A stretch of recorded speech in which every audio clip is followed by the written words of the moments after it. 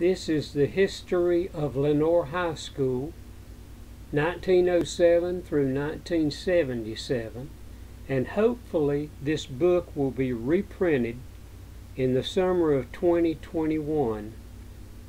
You can check with our museum in Lenoir, North Carolina, Caldwell Heritage Museum on Vaden Street, to see when this book will be available.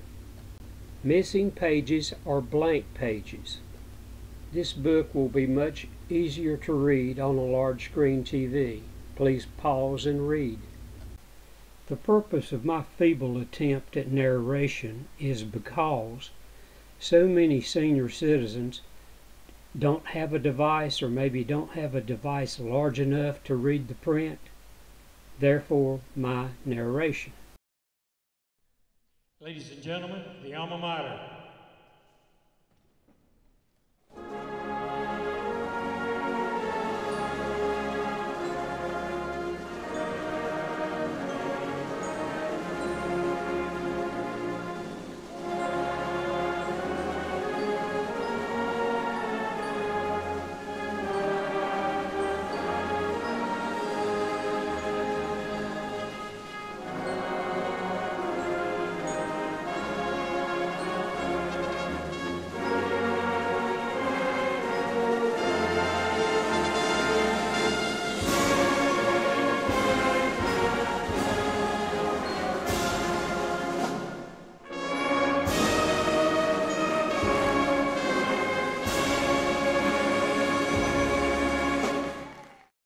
Lenoir's Free School.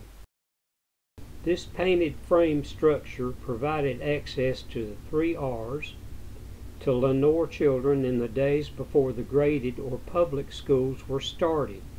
It was located on West College Avenue near the Bluebell plant. In Here Will I Dwell, page 171 by Nancy T. Alexander, it is stated, in the 1870s, the Wilson Academy was conducted in Lenoir by J. R. Wilson, who lived nearby in a large brick house where the present Lenoir High School is now located.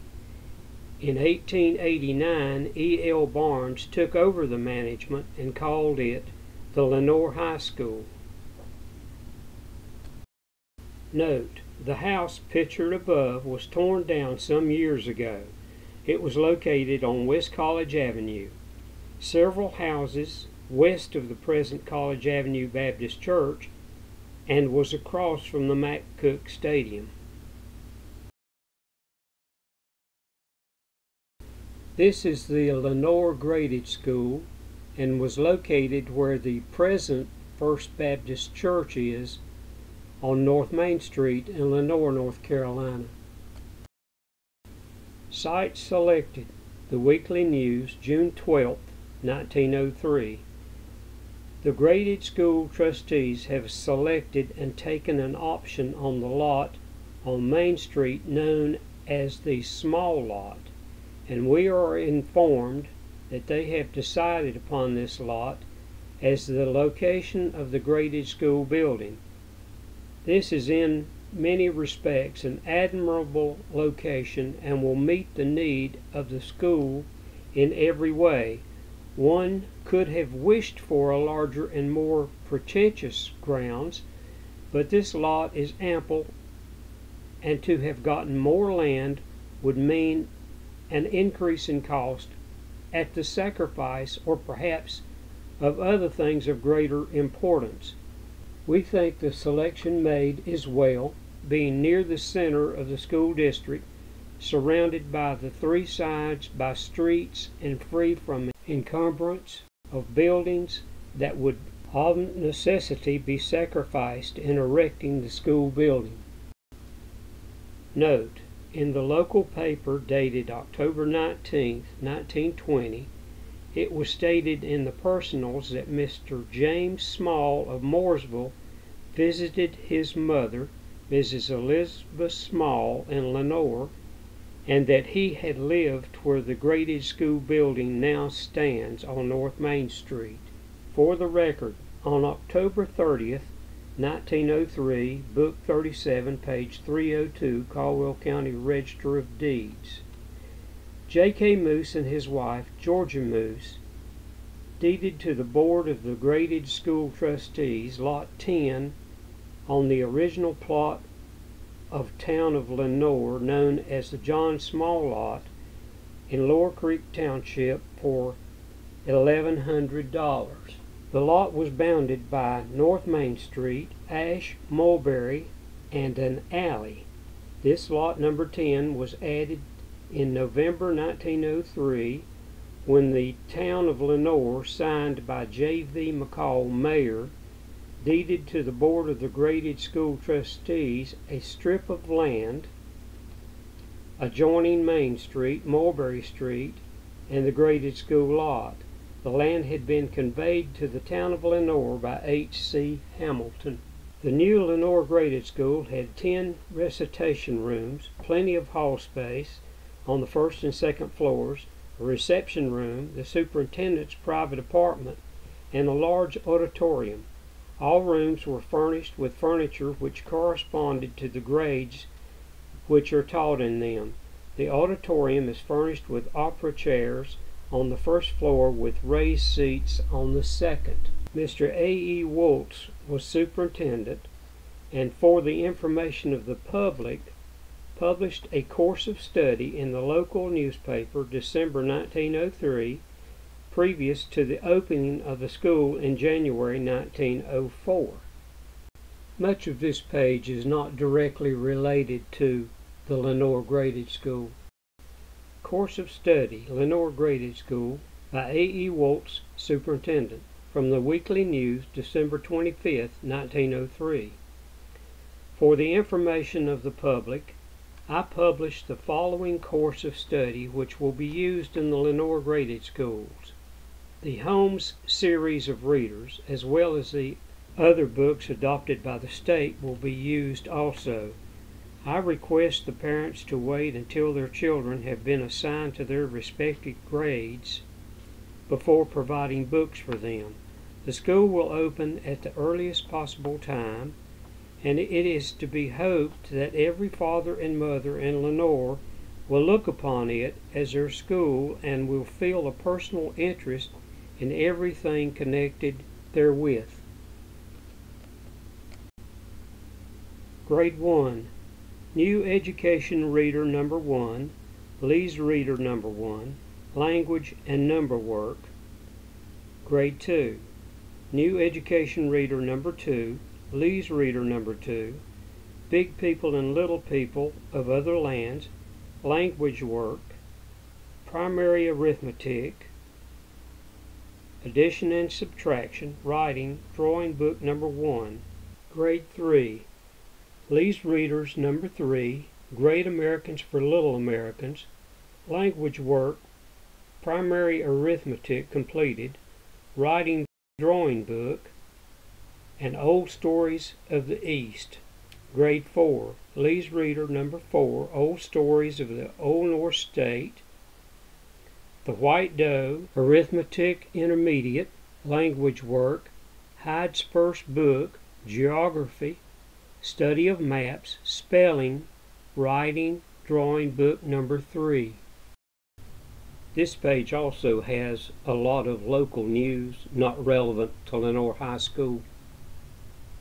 Grade 5, North Carolina History, Primary History of the United States, Arithmetic, English, Grammar, Written Composition, Geography, bird life, Hiawatha, psychology, writing and drawing. Grade 6 Hansel's Advanced History, Biographical Stories of Great Americans, Literary Selections, Arithmetic, Advanced in Modern English, Modern English Grammar, studies in nature and language lessons, geography, psychology, and agriculture, and studies in civil government. Grade 7 English, History, Math, Elementary Algebra, Latin, English Language, Composition, Sketching, Autobiography of Benjamin Franklin, Physical Geography, U.S. History, Writing in English. Grade 8 History, Elementary Algebra, College Algebra, Latin, Reading, English Composition. Grade 9 History, Math, Algebra, Geometry, Latin, English Composition. Grade 10 History, Math, Geometry, Arithmetic, Latin. The Lenoir Graded School, January the 8th, 1904, from the Weekly News. The Lenoir Graded School will open next Monday in temporary quarters, the Fawcett Schoolhouse, the old public school building, and possibly elsewhere if need be. This is an event in Lenoir's history of which all should feel proud. There will be 10 full grades, and if students far enough advanced come to take them, and those taking the entire course will be prepared to enter the state university or any of the higher colleges of the state. The important question for you parents to decide is, what will you do about your children? Your boy is as bright as the other boy, but if you let him grow up in ignorance, he will have no chance in the battle of life. For in this age of education, none but the intellectually enlightened apply. Years ago, one could make the fight with little education, but the times have changed, and your child will have to face greater obstacles than the parents surmounted. He has every advantage to procure an education free, and if he doesn't, it is your fault, and you should make every sacrifice to enable him to attend school every day. Every father and mother in this town should feel like the school belongs to them and take a personal interest in everything connected with the school. Now it is up to you. Will you let that boy of yours run on the street of the town and be subject to the temptations that beset every youth? Or will you send him to school where he can be kept out of mischief, but learn something that will make him a useful and honored citizen? Get the children up early Monday morning, clean them up, and get them off to school on time, and keep them there from the very first day till the close of this term, and you will see the results that will pay you for your efforts. Grade School Opening, January 15, 1904, from the Weekly News. That was an inspiring scene at the courthouse last Monday when 270 school children assembled there to be enrolled and assigned to their particular grades in their school and to be welcomed by Professor Woltz, their superintendent, and others. Their bright faces, all showing an eager thirst for an education, presented a picture to be remembered. Professor Y.D. Moore, County Superintendent of Schools, said it was the happiest moment of his life. Edmund Jones, J.R. Wilson, Professor Woltz, and Professor Moore all made short addresses to the public, and it was altogether an enthusiastic occasion, marking a district milestone in the progress of Lenoir and vicinity. Since the opening day, other pupils have been coming in, and the enrollment has already reached 283. Lenoir Graded School, location North Main Street. A few historical facts about our school. The Lenoir Graded School was opened in the fall of 1904. The grades were scattered in different locations of the town, the fourth grade, for example, being held in Captain Fawcett residence with Miss Laura Fawcett teaching it. The lot that the first school building was placed on cost $1,100. The building cost about $9,000. This soon had to be enlarged until the entire basement almost, was utilized for schoolrooms, and part of the auditorium was cut off for the same purpose. Public school affairs were held in the old Opera House for years, which would be the Hinkle Opera House. The present building was used first in January 1923. This cost about $250,000.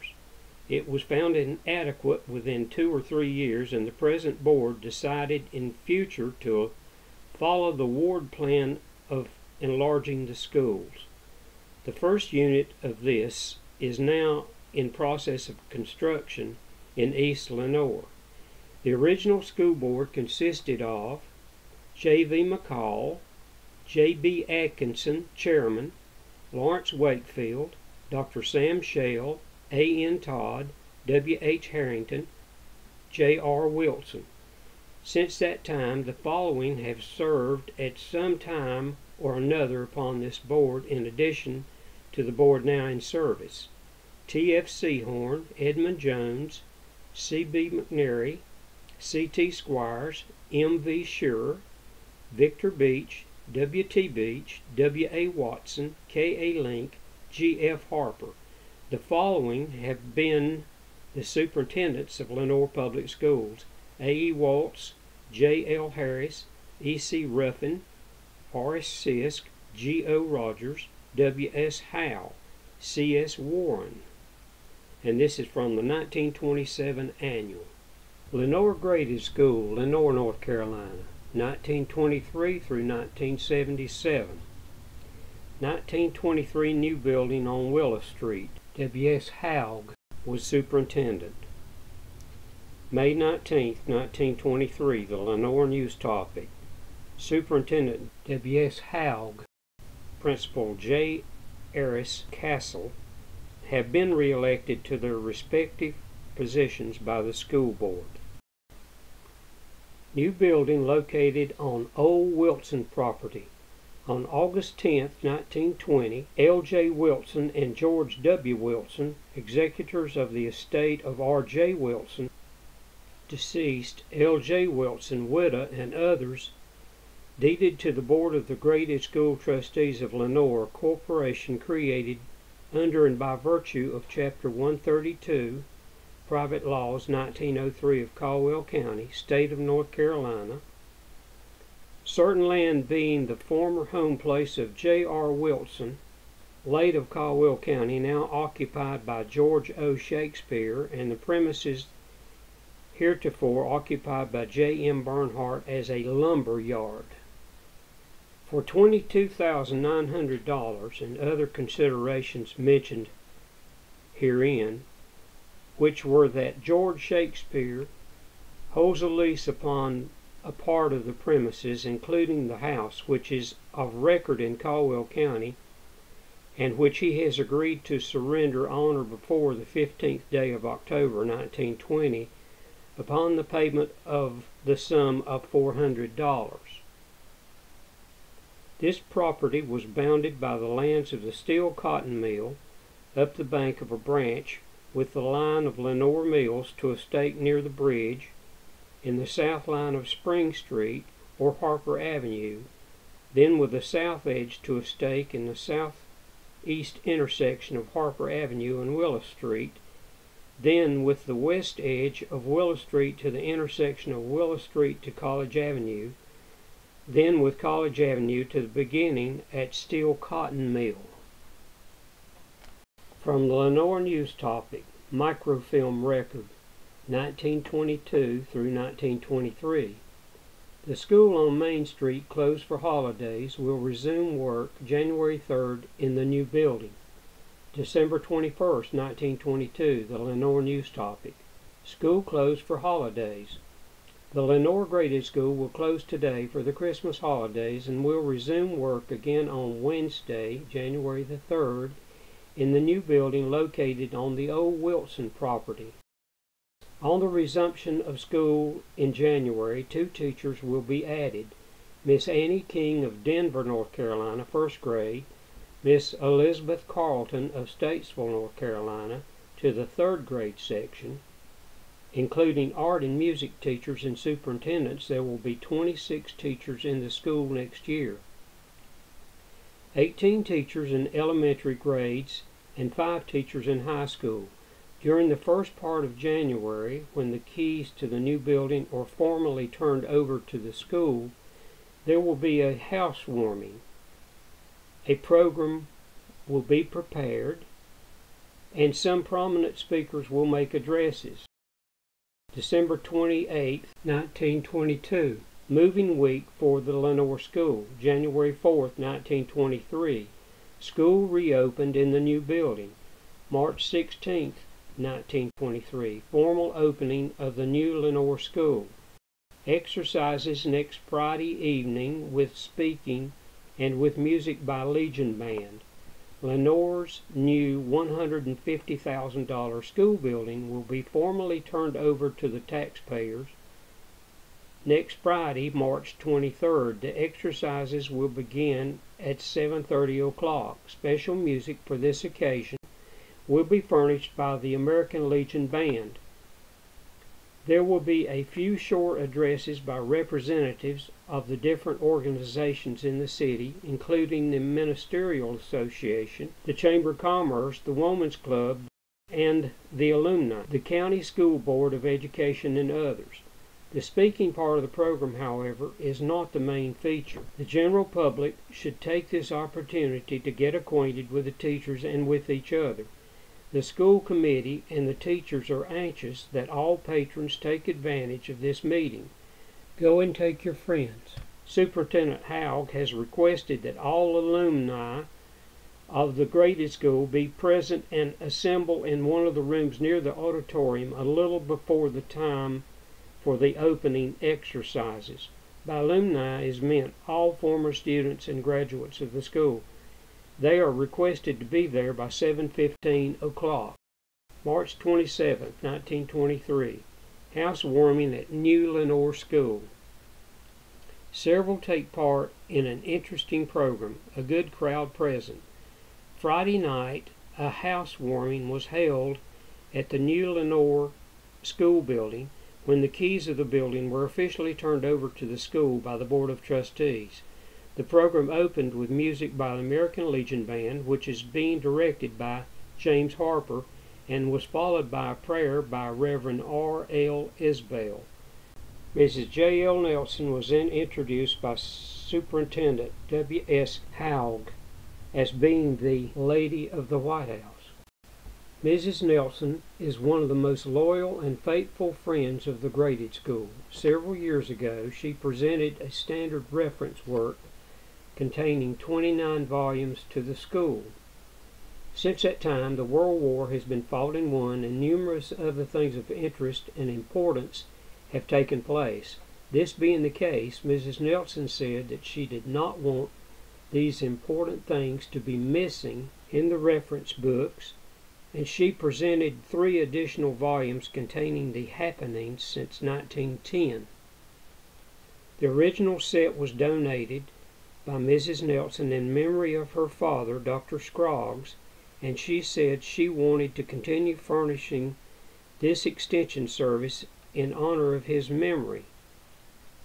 In closing, Mrs. Nelson said that the school had moved into its new quarters and left North Main Street. A pall of loneliness hung over the place.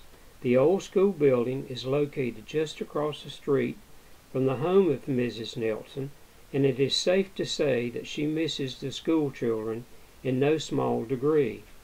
Superintendent Haug accepted the three additional volumes of the reference work for the school with a great deal of appreciation.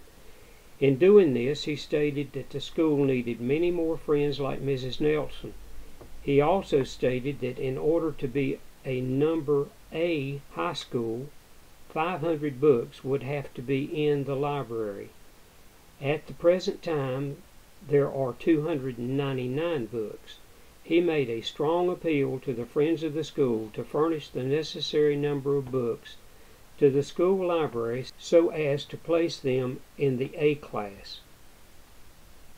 After another selection by the band, W.J. Lenoir, recently elected chairman of the Board of Education, was called on for a talk. This building, with all of its equipment and conveniences, would be a credit to any town in the state of North Carolina, Mr. Lenoir said. The fact that it is here is evidence that the town will keep up the important place on the educational map. Not many of you can remember as far back as 50 years ago, but this town has always been considered an educational town. If you will look up the records of the history of the town, you will find that even then there were three splendid educational institutions of more than statewide reputation in the town of Lenoir. These institutions were Finley High School, which was run by Captain E.W. Fawcett and Mr. Dixon as an assistant. It had boys here from states as far west as Texas. He then told of an old negress passing by the school one day when several of the students were studying their Greek and reading it aloud. She hurried on and told the boss that two of those strange boys were up there a cussin' and a threatening to kill me. What did they say? she was asked. Alpha, beta, etc. Then there was the Kirkwood School fifty years ago, Mr. Lenoir continued, with Miss Emma Rankin as principal, and a girl in that day considered herself fortunate to have her guidance. Davenport College was here 50 years ago, and it alone remains. It is progressing and growing better and better, and it is a pleasant thought for us to liken it to Tennyson's book and hope it will go on forever. Then there was a lapse, and we come to a period about 20 years ago when the graded school building was erected. It was one of the greatest interests of our town and recognized as one of the best institutions of the state. But the town has outgrown the old school, and we now have this magnificent building on six acres of ground and so built that the unit after unit can be added as room may be needed. We have a splendid superintendent and board of trustees. They are determined that this school shall be second to none in North Carolina. Mayor V.D. Geyer was then introduced by Superintendent Haug, who stated that his subject would be the burdened taxpayer who paid for the chairs, erected the house, and was responsible for its being there. Mr. Geyer stated in the beginning that he thought the meeting together in the building for a housewarming was a very fine thing. The people would come there and see each other, and would go home with a better feeling for having been there, and he was sure that when tax paying time came, they would not mind so much the paying of taxes. Of course, there will be some pessimistic taxpayers who have not seen the vision and will let go of their money grudgingly, but they will be in the minority. Mr. Geyer said that he had hoped none of the children would have to go three miles in the mud to school as he had done. The speaker then mentioned the citizenship of Lenoir.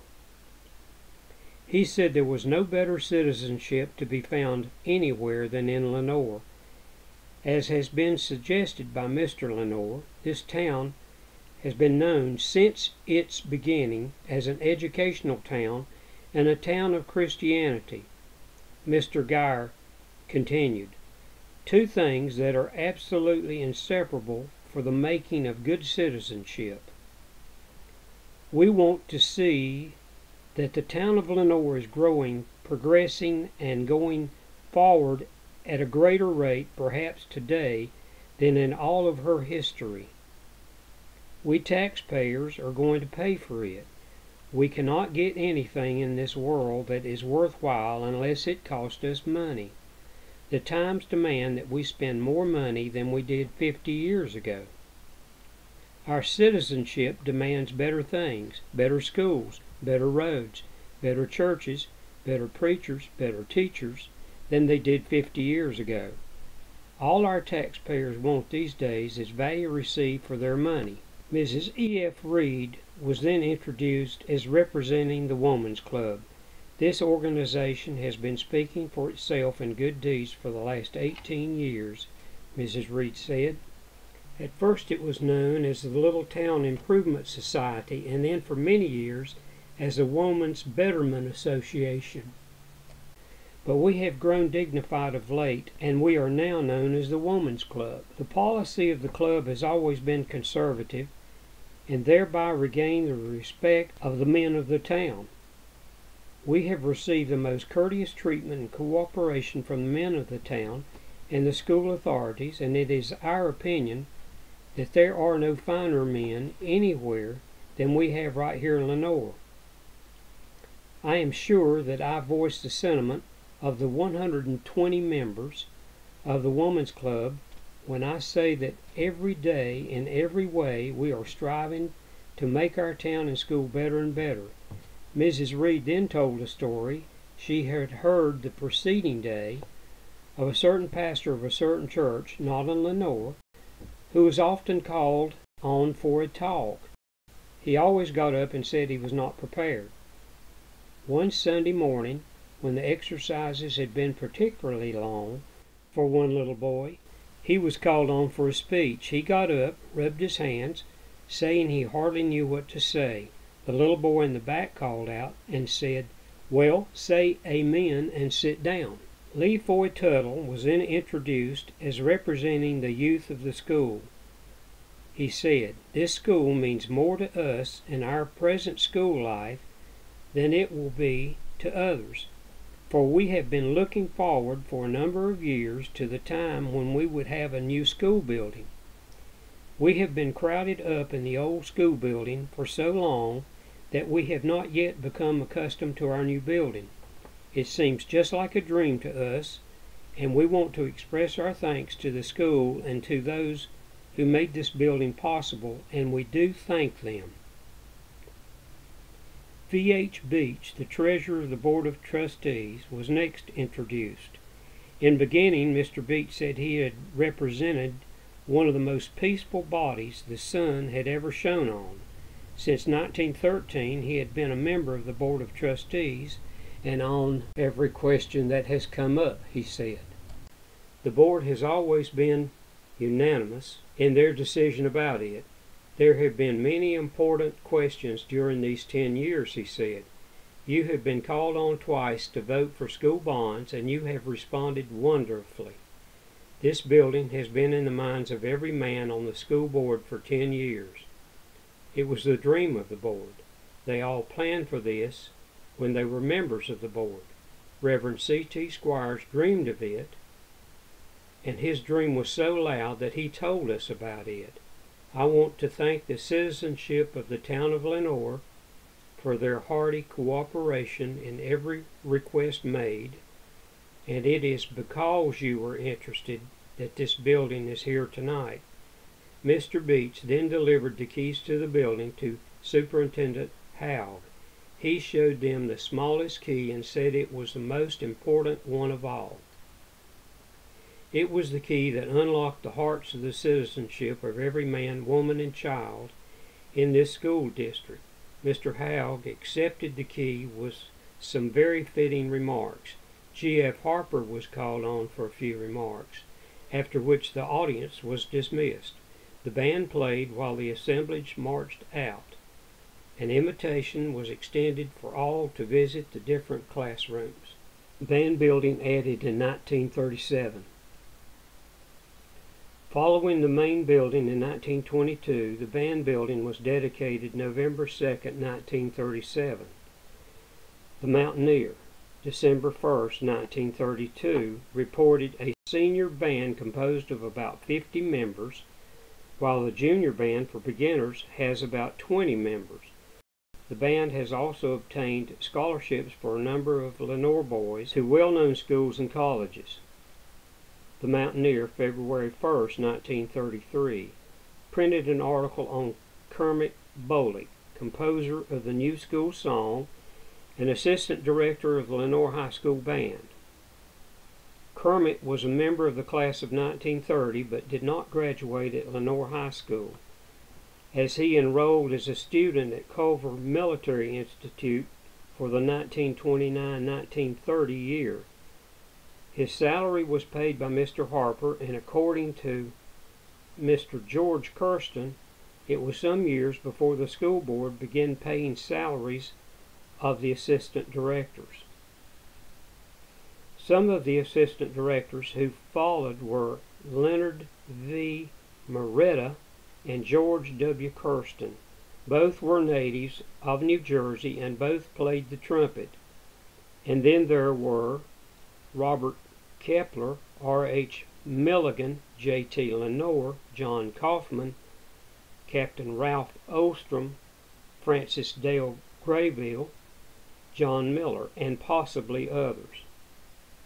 Mr. Harper was one of the founders of the American School Band Association, and since 1935, and he also had been a member of the American Bandmasters Association, and in 1955 was elected president of this renowned association at their annual convention held in Elkhart, Indiana in February. At that time, he had been the only high school band director to serve as president. In 1958, Mr. Harper retired as director of the Lenoir High School Band and was named director emeritus. Mr. Bernard B. Hirsch became director. Band Memorial Library. In 1977, when Lenoir High School merged with West Caldwell High School, a special room was set aside in which a band memorial library and museum was established. Mr. George Kirsten states that the library contains memorabilia from the Lenoir High School band building from 1924 to 1977. Pictures date from 1926 there is a complete music library along with awards received and an exhibit of all uniforms. Visitation to the Band Memorial Library is encouraged. Open House and Dedication. Year. Construction. 1922 Main Building. 1937 James Harper Band Building 1948, gymnasium and remodeling of auditorium. 1952, Cook Stadium, stand and press box. 1954, Industrial Arts Building. 1962, addition joining the James C. Harper Band Building and Main Building, providing a library, instrument repair shop, 12 practice rooms, and an unfinished top floor to the band building and 11 classrooms, including a new home economics department to the main building. From 1962, open house and dedication program. Sunday afternoon, November 18, 1962, 3 o'clock p.m. October 1st, 1932, The Mountaineer. Scrapbook records history of Lenoir High School Band. The Lenoir High School Band has a very unique project in the scrapbook which it began several years ago and which is now almost through the sixth large volume. From the day the band was organized, the directors carefully filed such things as newspaper accounts of the work and the public appearances of the band, programs played, photographs of the band and its appearances, magazine articles, and letters from important people who wrote commending the band and its work. In time, the mass of this material became large and unwieldy, and it was hard to find quickly the item wanted. The scrapbook was started and then the first item in it was a letter from the Dysart Kendall post of the American Legion in Lenoir offering a set of band instruments to the school. This letter went on to state the conditions under which the gift was made. There follows the letter from the school board accepting the gift and the newspaper clippings commenting on the new venture. In order come program, accounts of concerts, magazine articles, and all the rest. In time, there appears the programs and newspaper accounts of the first state contest attended and when the volume covering the year 1927 is reached, and the band made its first trip to the University of North Carolina to play for the Virginia Carolina Thanksgiving football game, there comes a regular deluge of letters from prominent people expressing their pleased surprise at the results. High spots were the trips to Charlotte to play for the automobile races. There was no band in Charlotte schools at that time, and programs and newspaper clippings give the details of the trips. Another memorable date recorded is a visit to the Gentry Brothers Circus when the circus people arranged for the band to march in the parade and in return became the guest of the circus. No host ever lived up to the idea of hospitality than did the circus folks on this occasion. Not only was the band uniform a ticket of admission to the main performance, but to almost anywhere else that the band chose to go. From cook tents and blacksmith shop to the office of the general manager himself, no circus program of the date was preserved, but the newspaper clipping tells the story. As the pages are turned, the letters of commendation show a great increase and begin to come from more and more distant points from Lenoir. The last three governors of North Carolina have letters there, and one governor of Virginia. A recent Secretary of the Navy sends a very enthusiastic letter over his impressions of the band at the Virginia Carolina Thanksgiving game. College presidents from North Carolina and Virginia and the college deans came one after the other. A professor of education at the University of Pittsburgh writes to ask permission to use a picture of the band in a book he is about to publish. A school superintendent in New Mexico wants to start a band in his high school and writes to know how it should be done. A band director in Mr. Henry Ford's River Rouge High School sends his warm good wishes, and the director of the national champion Scene High School Band of Chicago does the same. Letters from the musicians on the Pacific Coast from Detroit, Cleveland, Ann Arbor, New York, Oklahoma, Louisiana, and other distant points are included. A letter from a musician in Hamburg, Germany, states that he had read an American musical journal containing an account of the band in Lenoir, and he wishes photographs of the band to show in lectures to the Hamburg High School students. Former Lenoir citizens who have gone to foreign countries still read the Lenoir papers, and they are enthused over the accounts of the band and write in to say so.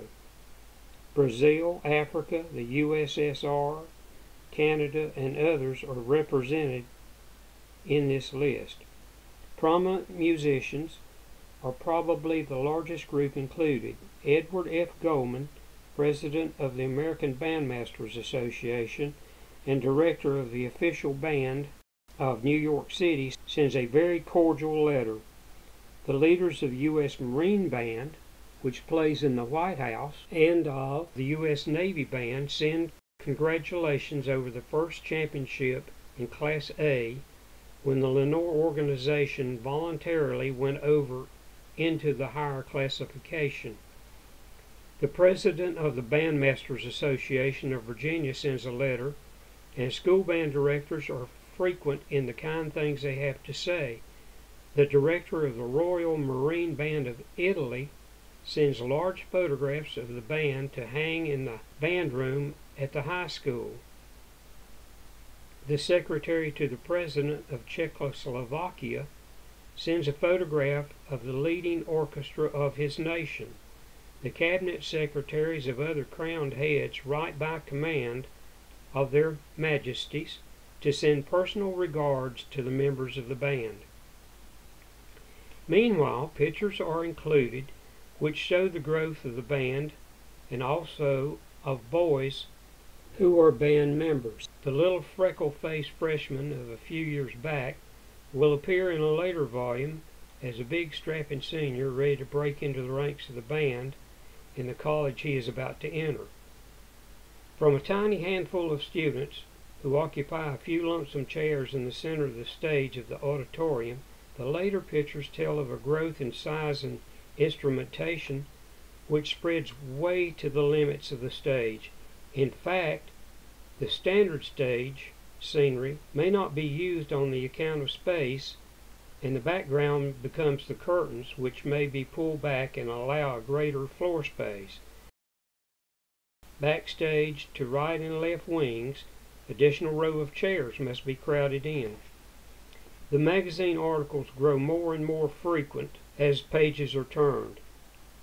Most of them seem to be in musical and school journals, but others appear in such publications as the Kiwanis Magazine, and all are of national circulation.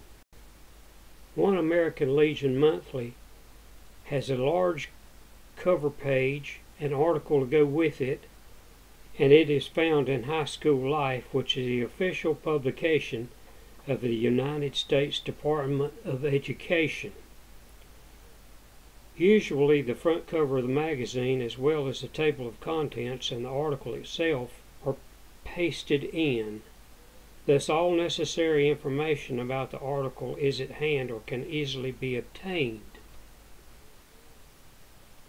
The last things pasted in so far are the accounts of the recent band trip to Boone in the rain and a page from the school musician in which a picture of the Lenoir Band appears on the center page spread. It is up to the band boys to make history. The scrapbook will record it. The Captain James C. Harper Memorial Library, 300 West Caldwell Drive, Lenoir, North Carolina, 28645. John R. Craig, Administrator, 1893 through 1986. Advisory Board, Kenneth Roberts, L.C. Morrison, Bernard B. Hirsch, George Kirsten, John Miller, James C. Harper, Jr., John R. Craig. Grand Tribute to the Captain. The Captain James C. Harper Memorial Band Library officially opens Wednesday afternoon at West Caldwell High School. The man who led the Lenoir High School band to an unprecedented 33 consecutive superior ratings in North Carolina is honored and remembered at this historical library, celebrating the opening are, from the left, seated former Lenoir High band directors George Kirsten, Bernard Hurst, John Miller, and James C. Harper, Jr., Captain Harper's son. Standing are Kenneth Roberts, Superintendent of Schools, John Craig, West Caldwell Band Director, Camilla Graber, Hibriten Band Director, Arden Carson, South Caldwell Band Director, and L.C. Morrison, Principal at West Caldwell. Page 20. This, of course, is the front of Lenoir High School, Lenoir, North Carolina. Lenoir High School, Lenoir, North Carolina, February the 1st, 1933. The photo to the right at the top is Clarence Shaw Warren, Superintendent, 1925 through 1945, and below him is Mr. H. Claude Sisk, Superintendent, 1945 through 1950. And this is from the Mountaineer. Superintendent Warren explains eight months term. Curtail term will not affect the rating of school for the 1933 graduates. At a recent meeting of the Board of Trustees of the Lenoir City Schools, it was decided to shorten the school term this year to eight months. There had been a feeling for several months that this step might become necessary, but the board postponed definite action until it was seen clearly that it would be impossible for us to run the full nine months and at the same time meet our financial obligations. Most of you who read the columns of the Mountaineer do not realize how serious a thing it is for a school district or a county or any other local unit of government to fail to meet its financial obligations promptly. Promptly meaning the exact day on which they fall due. Defaulting in the matter of meeting principal and interest on school bonds would make it almost impossible for this district to sell bonds at any future date. It is a serious matter when an individual fails to pay his debts, but the consequences are even more far reaching in the case of a unit of government. In 1903, the newly created Lenoir Graded School District sold $13,000 in bonds to pay for the first high school built in Lenoir. It stood on the site now occupied by the First Baptist Church. Those bonds were 30 year bonds and will fall due on January 1st. The local school officials have had them in mind all along and have kept the tax rate at a point where, with normal collections, a small surplus would have accrued each year in sufficient amount to take care of this $13,000 bond issue. The universal economic downswing has manifested itself most decidedly in the inability of folks to pay their taxes promptly. The result is a probable shortage. Bonds and interest and current bills could be met if tax collections were normal or even nearly so. Such obligations cannot be met with uncollected taxes. The student body should know that it is not the policy of the school board to shorten the term permanently. It was necessary to meet this emergency in the only practical way. The temporary curtailment of the school term will not affect the standing of the school nor the standing of the graduates in 1933. We are a member in good standing of the Southern Association of Secondary Schools and Colleges. We are likely to lose our standing in that group if we have another eight months term next year. However, that matter has not been decided yet. Some concessions will probably be made to tide over the depression. Those in position to know do not feel that there is any cause for alarm. On the contrary, they feel that some way things will be worked out where schoolwork will not be curtailed and our school standing will not be jeopardized. The student body can make a most important contribution in these trying times by trying earnestly and cheerfully to do what is required of us. Board of Trustees E.C. McCall, Chairman. W.E. Alexander, Vice Chairman. J.B. Houston, Treasurer. G.T. Kroll, P.E. Hedrick, R. Carter Powell, W.J. Spainhour. Lenoir Public Schools, J.G. Hagerman, Superintendent, Lenoir, North Carolina. Principal Central High School, F.W. Lentz, Central Elementary, A.G. Nelson, East Harper Elementary, G.N. Kincaid, West Lenoir Elementary, L.B. Robinson. October 23, 1953.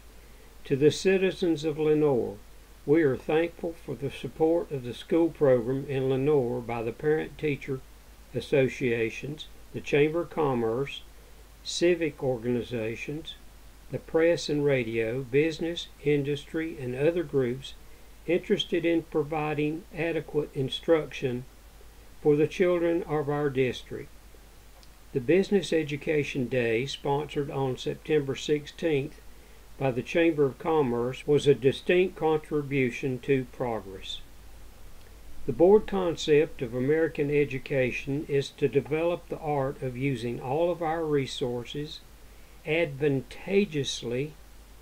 It is our aim of the school system to develop in each pupil a basis for civic competence, educational flexibility, social understanding, occupational efficiency, home loyalty, religious consciousness, and growth through leisure time opportunities. Good schools make better communities.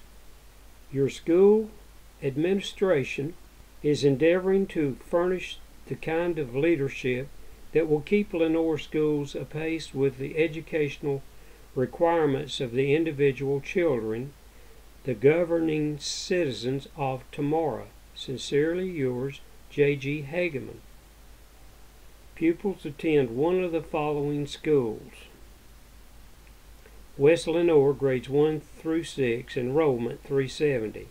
East Harper, grades 1 through 6, enrollment 410. Central Elementary, also known as Lenoir Junior High, grades 6 through 8, enrollment 340. Lenoir High, grades 9 through 12, enrollment 452. Freedman, grades 1 through 12, enrollment 440. West End, grades 1 through 6, enrollment 102.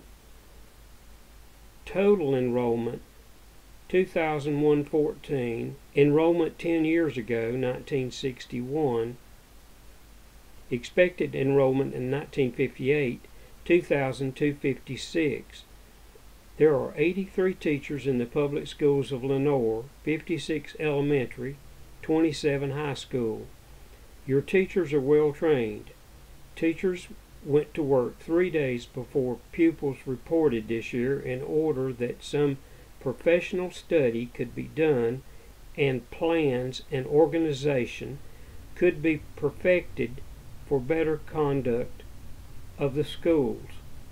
Thirteen teachers and our elementary supervisor hold master's degrees from colleges and universities. Practically all other teachers are college graduates. The three R's are emphasized. Your children grow in schools and understanding.